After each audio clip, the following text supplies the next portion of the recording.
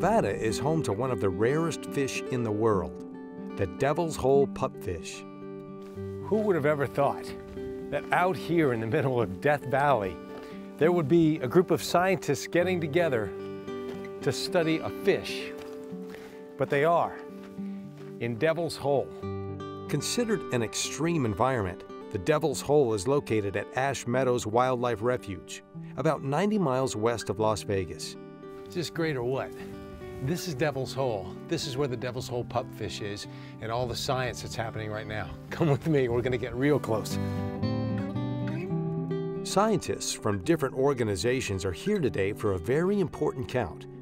One of them is Mark Hausner from the Desert Research Institute. Now, there's a lot going on behind us right now. You got some guys down in the water. What are they doing about how many guys are down there? We've got five guys down there, and they're counting fish. The Park Service, the Nevada Department of Wildlife, and the Fish and Wildlife Service have been managing this resource jointly. And what they do is, uh, for the last 43 years, they've been counting fish um, using a consistent method so that what we can do is look back at the historical record of the fish population and have a, a relative indicator of the health of that population and the size of the population. These inch-long iridescent bluefish play a big role in the research conducted on the Devil's Hole ecosystem. What I am looking at is the impact of climate change in Devil's Hole, and particularly on the Devil's Hole pupfish population. And so when we talk about climate change, we typically think about higher temperatures. Um, what's important in this setting is certainly those higher temperatures, but also the time of year when those higher temperatures occur. A Devil's Hole pupfish lives 10 to 14 months, so every year this entire population is being replaced.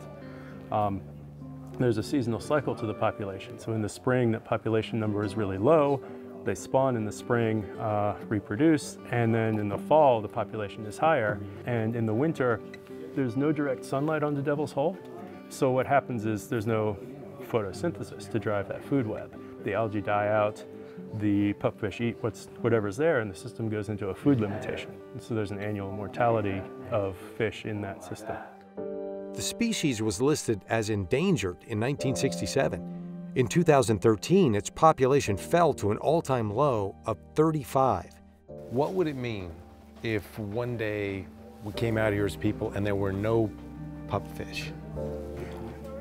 It would mean that we caused the extinction of an entire species. And the pupfish population was steady uh, at about 200 to 400 individuals in the spring, 400 to 600 individuals in the fall, until we started pumping groundwater.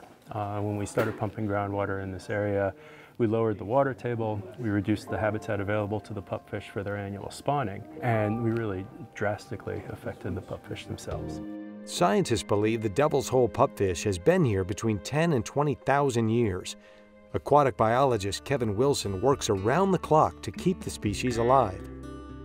Take me through a typical dive. What tools are you using? What do you, how does it work? Sure. So we dive down to 110 feet. And as we're counting fish, we do have, uh, it's called a slate, and we're able to, you know, write down our numbers so we don't forget. So you're literally making a visual contact with the fish and then writing it Right. down? We are unique in which we can count with pretty good accuracy the whole population of the Devil's Hole pupfish. Specially trained volunteers dive twice a year to check on the populations. Divers have reached 436 meters deep without seeing the bottom. To this day, it's still unknown the total depth of Devil's Hole. Kevin's gonna do his dive right now. He's gonna get all geared up. He's gonna go down, and then when he comes up, of course, we're gonna be there to talk to him to see exactly what he found. After diving for about an hour in this 93 degree natural pool, Kevin finally emerges. I have been holding my breath since you went under.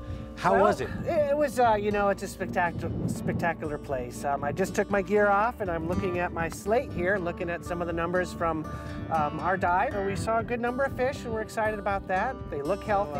What's a good number? Well, a good number right now is anywhere over 100. We're going to wait till tomorrow. We do have two more dives, and after that, we'll be able to tell you. So, here, this is what our number is for our spring count. The spring count registered 80 individuals in Devil's Hole.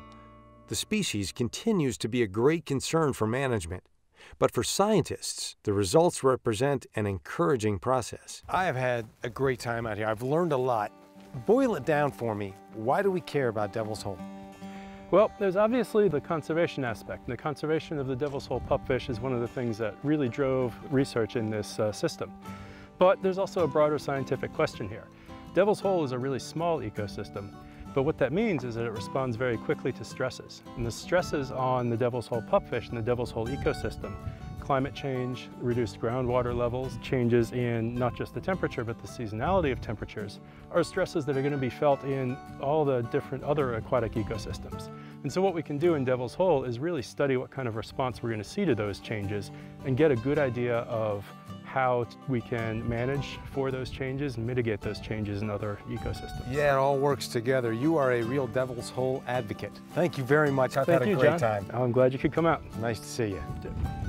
It's almost ironic, but it's reassuring that out here in the middle of Death Valley, where it's arid and dry, there are volunteer scientists who are working to sustain life in the form of a little fish